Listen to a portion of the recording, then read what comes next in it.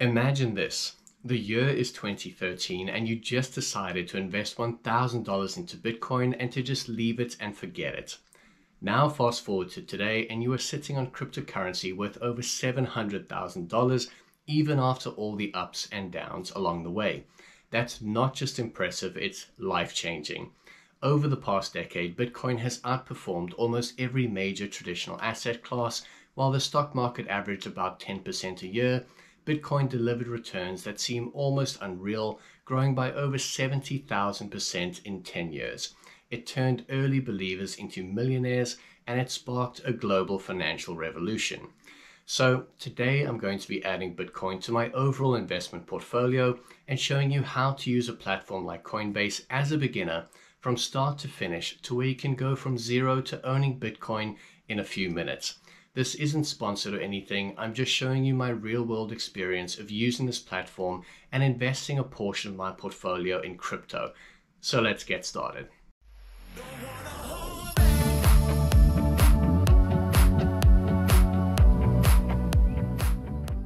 Now that's quite an intro, but let's be real about all this as well. It's easy in hindsight to talk about Bitcoin's numbers the same way it is now to talk about Google or Apple or Facebook. And realistically, because it grew 70,000% before, doesn't mean it will in the future. In fact, it almost certainly won't. What I'm really talking about is adding Bitcoin to my investment portfolio as a portion of my overall investing strategy and dollar cost averaging to hold over the long term. What I'm looking to do is invest a maximum of 5% of my portfolio into this riskier asset to make sure I'm not missing out on potential future growth, but I'm also not going to feel it too much if it doesn't go where I think it will. That's why I recently did some research on what platforms to use and I decided on Coinbase. I invested $130 a few weeks ago, so I'll take you through the process if you're looking to invest as a beginner, like what you'll need, what the platform is like, what it costs in fees, and at the end of the video, I'll show you my profits or losses and how much I've made so far with my cryptocurrency investment. And it's actually a lot more than I thought. Now, before we start, if you could please take a few seconds to just like the video, I'd really appreciate that. Okay, I've held cryptocurrency in the past and tried a few platforms, but none of them I liked. I used Easy Equities, Luno, Crypto.com, and recently Gemini. Crypto.com I really didn't like. Gemini was okay, but I didn't like how it didn't show you profit and loss, which is the main thing that you want. And I recently tried Coinbase, which I've liked, so I'm happy to share it. Now, I mainly look for two things in an investment platform. Safety is number one, and Coinbase is very vocal about regulation and safety on their platform, and they're probably the largest platform in the world to take such a big stance on safety and security of your funds. They've got a whole page here breaking down the measures they take that you can read through. And the other thing is simplicity. So I can invest easily and view my investments quickly with low fees and no ongoing fees, so we'll see if it meets that.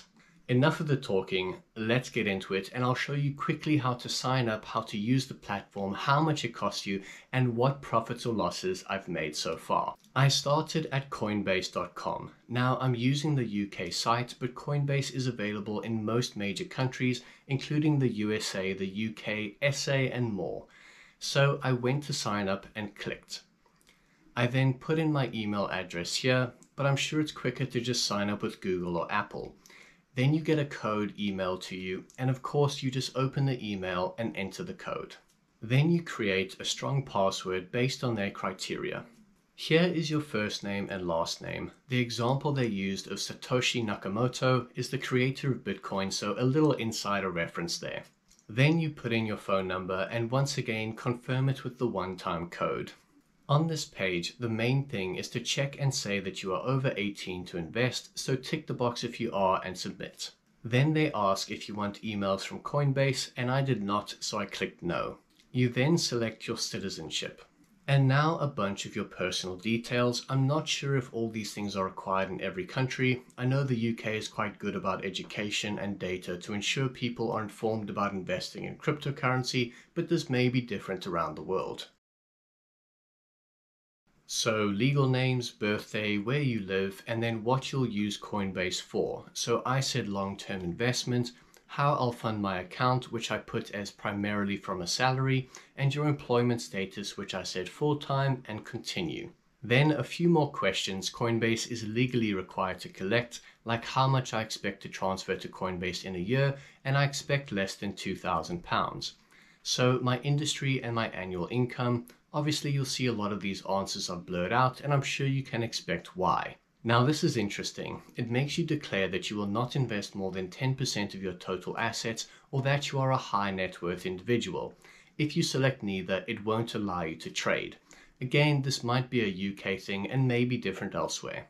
So yes, I selected restricted investor and they give you a bit of info about what that means and you select and enter a few things to show that you understand it all.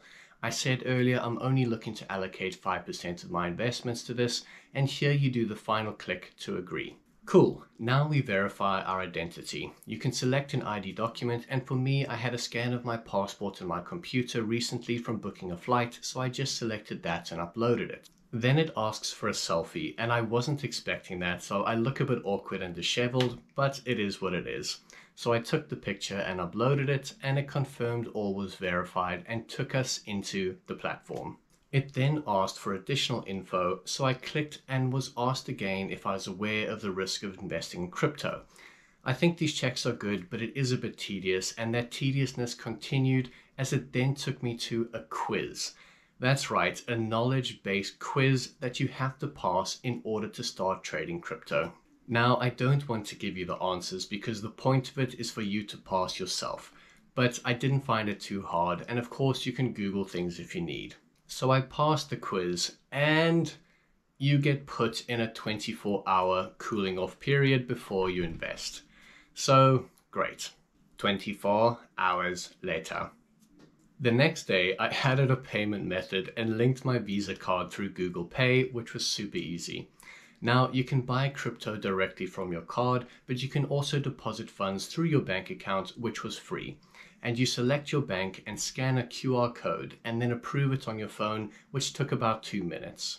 I also tried a few transactions and withdrew my money to test it, which worked perfectly fine as well. I used my card to withdraw to as the method and it charged me £1.82 on £91, which I thought was a bit steep, but apparently it's free if you withdraw to a bank account. But it worked and it reflected instantly. Then once you've deposited funds, it's super easy to buy crypto and there's a huge range that you can buy. But for me, I just went to Bitcoin and clicked buy. I put in 100 pounds and selected buy and that was it. Super easy and that's what I like. It did, however, charge me 3.99%, which is huge for me as a stock investor, but it was the same with Gemini platform before this, so for some reason crypto just has a larger set of fees. So it's about normal for what I've seen. Now, if you want to sell, you just click sell on the top here, and I clicked sell Bitcoin and it showed me a £2.99 fee plus a spread.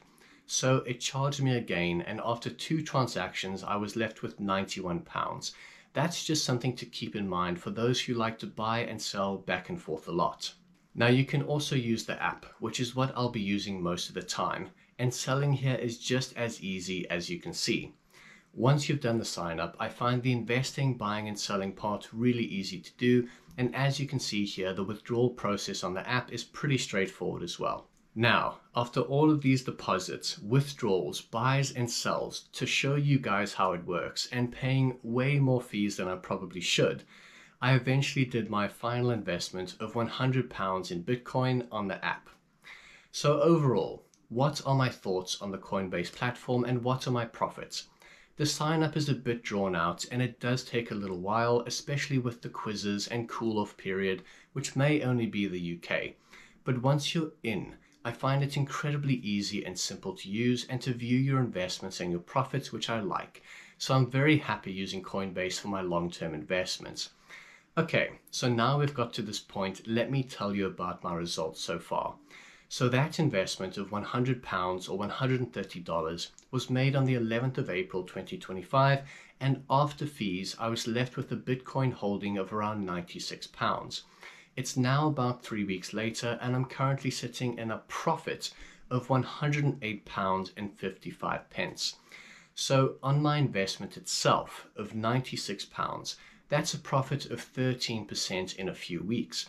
But on the money I actually put in, that's of course 8.55% profit. So considering the stock market averages 10% over 52 weeks, that's actually really, really good.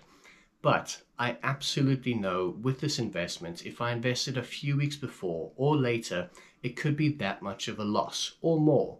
And it still may be. This could go up or down, but we'll continue to dollar cost average, and I guess we'll see over time. So if you want to see how this investment does, along with the rest of my five figure investment portfolio, then subscribe to the channel. I also have a community on Patreon where I share all of my investment buys and sells in real time on the day, including my stocks and shares and cryptocurrency, along with portfolio updates, passive income, and a bunch more it's 90% off to join, so just 50 US cents. So if you want to join over 150 people in the club, you can check out the link in the description. But guys, that is it for today's video. I hope you enjoyed. Subscribe to see more, and I'll catch you next time, as always, on Casual Cash. Cheers.